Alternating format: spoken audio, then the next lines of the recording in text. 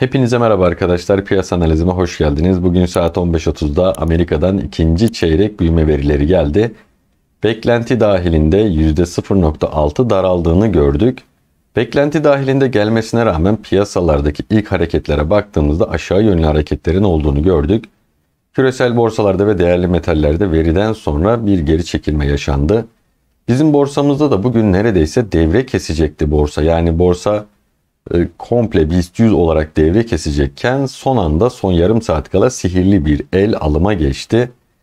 E, bizim borsamızdaki bu sert düşüşü ben Amerikan verisine bağlamıyorum. Zaten son 2-3 aydır onlardan biliyorsunuz biz pozitif ayrışmıştık. Peki bizde neden böyle bir %5'e yakın bir geri çekilme oldu gün içerisinde özellikle son saatlerde? E, biliyorsunuz vade sonundayız arkadaşlar. Yani VIOP tarafında özellikle kaldıraçlı işlemler, e, varantlar bunların e, vadeleri bitiyor yarın itibariyle ve 3 Ekim pazartesi yeni vadeye geçilmiş oluyor. Vadelerin son günlerinde genelde bu tarz sert yukarı veya sert aşağı hareketler olabiliyor. Ben buna bağlıyorum. Yani bizim borsamız için böyle çok fazla da tedirgin olacak bir durum yok. Onu da zaten borsa bölümünde konuşuruz arkadaşlar. Küresel piyasaları sonbaharda çok güzel günler beklemiyor. Onu bir kere baştan söyleyeyim. Zaten son analizlerimde de hep bunu vurguluyorum. E, bir resesyon tehlikesi var mı? Var arkadaşlar. Yani Fed tavır değiştirmedikçe e, bir resesyon tehlikesi var ve 2023'ün ilk çeyreğinde bu resesyon fiyatlamalarıyla karşılaşabiliriz arkadaşlar. Şöyle hemen dolar TL ile grafiklerimize dönelim. Dolar TL ile ilgili e, çok uzun konuşmaya gerek yok arkadaşlar. E, şöyle bakın hatta şuradan da gösterelim. ABD 10 yıllıklar o 4 seviyesinden bir miktar aşağıya gelmesine rağmen dolar TL hala 18.50'de. Yani tekrardan o 18.25'lere 18.30 seviyesine doğru geri gelmesi beklenirken gelmiyor. Çünkü o 4'e giderken zaten gerçek fiyatlamasını yapmamıştı.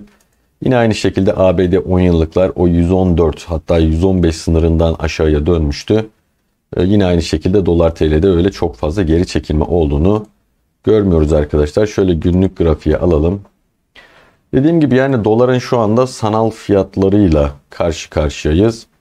Yani dolar endeksi ve ABD 10 yıllıklarına baktığımızda bu fiyatlarda olması bile e, mucize arkadaşlar. 18-25 direncini de aştık. E, şurada 20-21 bandında bu Pitchfork kanalımızın üst bandının direnci mevcut arkadaşlar. Kasım ayına kadar bu dirence e, gitmesini bekliyorum. Şöyle geri çekilmelerde alım fırsatı olarak ki her seferinde diyorum yani dolardaki her düşüş alım fırsatıdır diye sizlere belirtiyordum. E şöyle 18.32'yi görüyoruz arkadaşlar. Bakın 4 saatlikte EMA 100 genelde buradan döndüğünü görüyoruz. Olur da bir 18.30'lara doğru bir geri çekilme olursa alım fırsatı olarak değerlendirilebilir. Evet geldik ons altına. Ons altında şöyle günlük grafiğimizi alalım. Orada da ABD 10 yıllıklar ve dolar endeksindeki e, son 2 gündeki düşüş e, biraz pozitif olarak yansımış durumda. Şu anda 1661. Fakat hala bir yükseliş trendi başladı veya bir al sinyali geldi sizlere diyemem. Şurada 21 günlük hareketli ortalama var 1680. Aynı zamanda bu 1680'de son 2 yılın yatay desteği vardı. Bu destek kırıldığı için şimdi burası güçlü bir direnç konumuna geçecek arkadaşlar. Ve şurada haftalık grafiğe baktığımızda 200 haftalık ortalamanın altını sarktık. Burası da 1689. Yani kabaca 1690'ın üzerinde bir haftalık kapanış görmedikçe ons altında ilgili çok da fazla pozitif düşüncelere kapılmanızı önermem. Evet geldik gram altına. Gram altında biliyorsunuz şuraya bir halka atmıştık ve tam da bu halkadan alımlar geldi arkadaşlar. Buralar alım seviyesidir. Hani ons altına baz almadan sadece dolar TL'deki yükselişler için bile buralardan alınabilir demiştik. 950-970 bandından şu anda 985 civarında olduğunu görüyoruz. 55 günlük hareketli ortalama 992 arkadaşlar. Şöyle şurayı işaretleyelim. Burası artık direnç pozisyonundadır. Eğer bu 992 üzerinde 2 adet günlük kapanış gelmese tekrardan 950'ye doğru bir yolculuk başlayabilir. Şurada MACD bir al sinyali verecek gibi görünüyor. Ne zaman verir? O dediğim 992'nin üzerinde 2 adet günlük kapanış gelirse burada hem MACD'de hem de RSI indikatörümüzde bir al sinyali oluşur ve tekrardan 1040 yolculuğuna başlayabiliriz. Ama dediğim gibi buradaki 992'nin yukarı yönlü kırılması çok önemli arkadaşlar. Geldik gümüş onsa. Gümüş ons hem 55 günlük hem de 21 günlük hareketli ortalamaların altında olduğu için şu anda e, dönüş başladı diyemem sizlere. Fakat e, buradan bir dönüş olursa da güzel bir tobo var arkadaşlar. Bakın burada ters omuz, baş omuz yani burada bir e, tobo ihtimali var. Bu tobonun çalışması için de şuradaki 100 günlük hareketli ortalamanın kırılması gerekiyor. Burası da 20.15 arkadaşlar. Benim çok fazla umudum yok. Hem ons altından hem gümüş onstan ve diğer değerli metallerden sonbahar aylarında çok fazla prim yapmasını beklemiyorum. Geldik gram gümüşe. Gram gümüşte 10.50, 10.60 hatta 10.60'da 11 aralığı demiştik. Bakın burayı işaretlemişiz. Buralar alım seviyeleri olabilir demişiz. Ve en düşük kaç görülmüş? 10.68 görülmüş arkadaşlar. Biz 10.63 olarak sizlere söylemiştik. 10.68 görülmüş en düşük.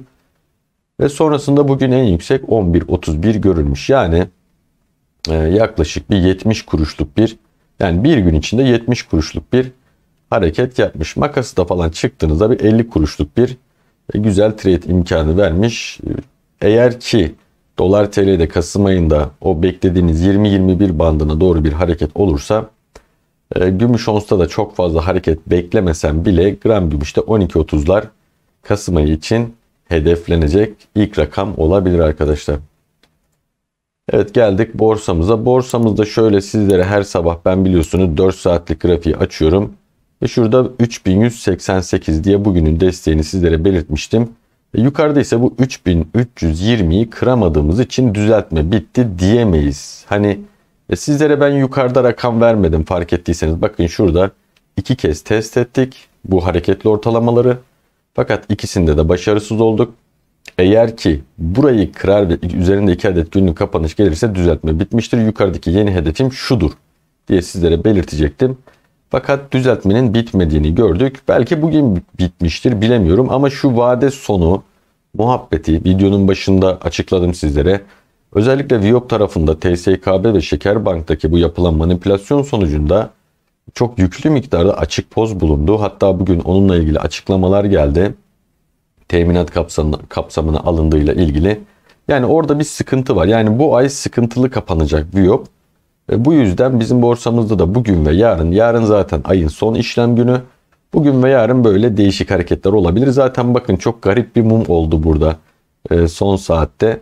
E, bakın böyle 3040'lara kadar geldi ki 3040 da aslında önemli bir seviye. Bakın şimdi göstereceğim size. Evet. 55 günlük hareketli ortalama nokta atışı.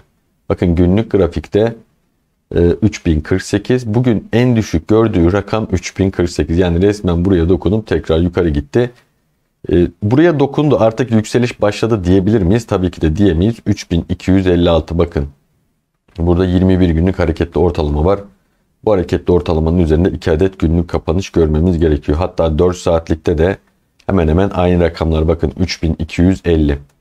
Yani şu 3250, 3300 bunun üzerinde 2 adet günlük kapanış görürsek diyeceğiz ki arkadaşlar düzeltme bitmiştir. İşte bundan sonraki e, yukarıdaki hedefimiz şurasıdır diye şimdi göstermiyorum orayı. Hemen e, gaza gelmeyelim, kapılmayalım. İşte düzeltme bitmiştir diyeceğiz. Bakın şurada şu hareketli ortalamaların üzerinde 2 adet günlük kapanış gelirse arkadaşlar. Hani diyorsunuz ya bazen ya işte Sasa kaçtı, Hektaş kaçtı falan. Arkadaşlar kaçan bir şey yok. Benim bir e, sözüm var. Aslında benim de değil. Piyasaların bir sözü vardır. Piyasadaki en çok e, dönen cümlelerden biridir. Piyasada fırsatlar bitmez arkadaşlar. Hani öyle çok uçan kaçan şeylerin de peşinden atlamayın. Bakın ne güzel düzeltmeler oluyor. Buradan 3700'e giderken de işte tüh neden banka almadık şöyle oldu böyle oldu. E şimdi de almıyorsunuz. Yani düşmüşken almanız lazım. Yukarı çıkarken kademeli satıp aşağıya geldiğinde kademeli alabilirsiniz. Uzun vadeciler ne yapacak? Uzun vadecilerin hiçbir şey yapmasına gerek yok arkadaşlar. Onu baştan söyleyeyim. Ne olur? 2989 bakın 4 saatlikte MA200 belki buraya gelebilir. Günlük grafiğe bakalım.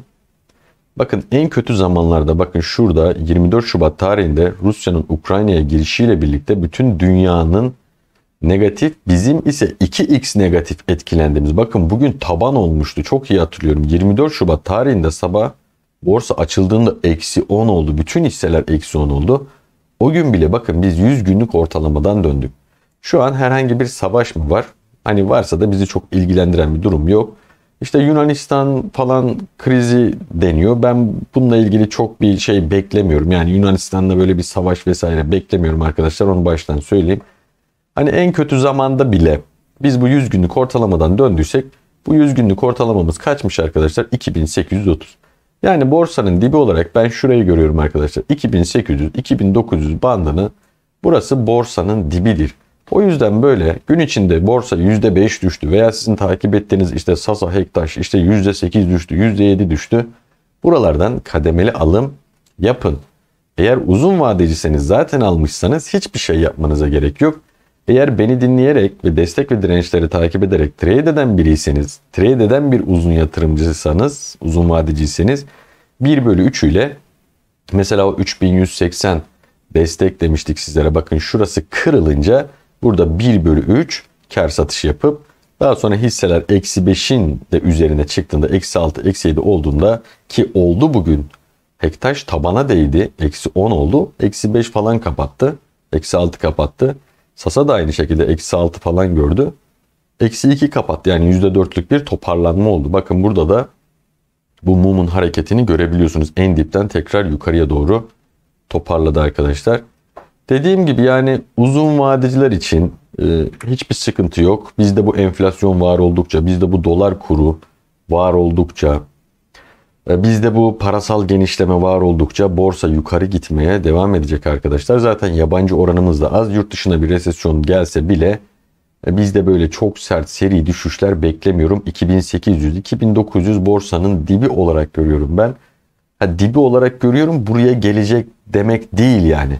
Hani o yüzden böyle 3000 puandan, 3050 puandan, 2900'lerden rahatlıkla alıp bir portföy oluşturabilirsiniz. Özellikle böyle ilk defa girecek olanlar. Çokça yorum geliyor bana. İşte hocam ben girecektim kaçırdım. İşte şöyle oldu. Sasa kaçtı, Hektaş kaçtı. Bakın kaçan bir şey yok. Böyle ara ara fırsatlar oluyor. Bu fırsatları değerlendirin. Eğer bu fırsatları da değerlendirmiyorsanız artık yapacak bir şey yok arkadaşlar. Videoyu beğenmeyi ihmal etmeyelim. Hepinize bol bereketli kazançlar diliyorum. Sağlıcakla kalın. Hoşça kalın.